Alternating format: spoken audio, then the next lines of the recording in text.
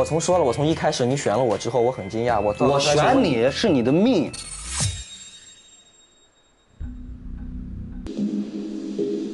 我是觉得我们就搞情歌，但是昨天我问你的时候，你说都可以，我问你中国风改慢先驱说也没有问题，你现在又突然要写情歌了。我再三问过他，征求过他的意见，首选的肯定是中国风，然后他也 OK，结果到进来之后，他这个不满意，那个不满意，所以就让我感觉他做事情有点扭扭捏捏。对我是觉得用它来写一个情歌，用中国风的东西来写一个情歌，那也不是不行的。但我是觉得啥，这伴奏啊，听到后面觉得听得很皮，你知道吗？那你唱前面，不不，我是觉得这我们真应该写情歌，真的。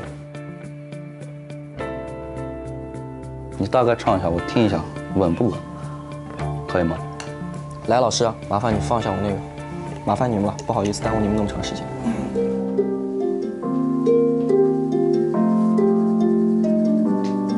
也许我话不太中听，但有言出必行，郑重的诚心寓意，与小人从没见过的忠心相貌，平平淡静静。夜夜为落难的百姓脚步轻盈，放松身心云丹田，调整气息，这天下太不太平，本来就与我无关。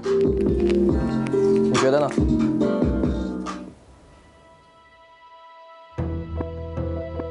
我是觉得这我们真应该写情歌，真的写这中国风不稳妥，你知道吗？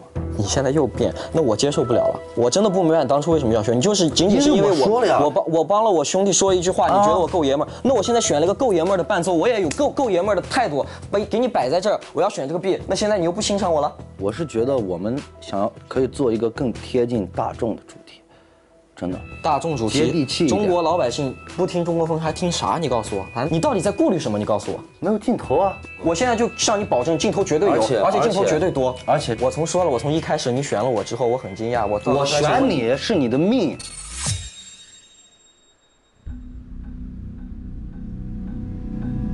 你没有办法，那我选这个 B 也是你的命，我不可能答应，因为我喜欢的，我选我的那你开心就好。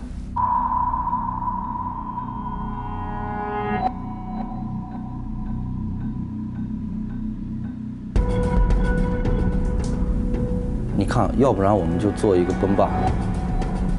我可能发挥的没有你好，在这个中国风里面，知道吗？因为我的歌词我都不熟悉，我刚刚背过，放下也没有唱过，对不对？